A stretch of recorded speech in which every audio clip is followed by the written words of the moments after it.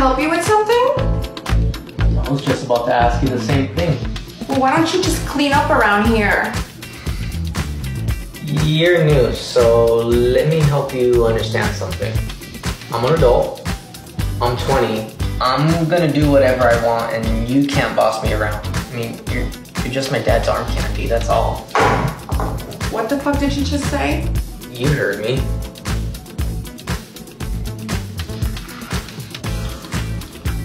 What the fuck? Shit, I'm sorry. What the fuck was that? How are you? I would have known your son was so messy. I would have never moved in here. He's not that bad. Look at this. He was so rude. He just missed it. He was so rude. Takes attention, right? No. If you want some of this, you better talk to your son. Otherwise, it's booty lockdown.